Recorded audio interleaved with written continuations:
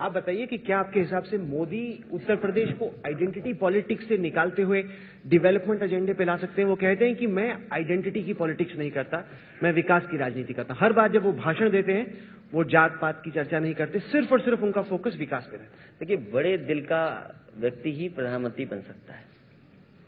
और उनके भाषण में अगर आप सुने तो वो कहते हैं, शेर हमने दिए।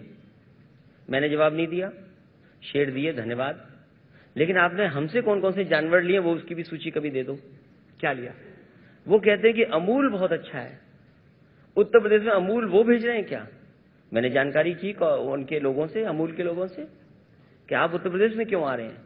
तो बोला, यहाँ का बाज़ार अच्छा है, यहाँ पे दूध अच्छा है, इसलिए हम यहाँ पर कारोबार करने आ रहे हैं।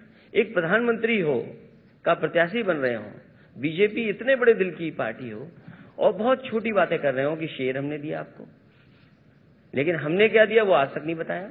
क्या दिया? आप बता आप पूछिए उनसे हमने क्या क्या दिया है। अगर शेर बताने की बात है तो उन्होंने स्टेट गवर्नमेंट ने कुछ तो भेजा होगा उनके पास।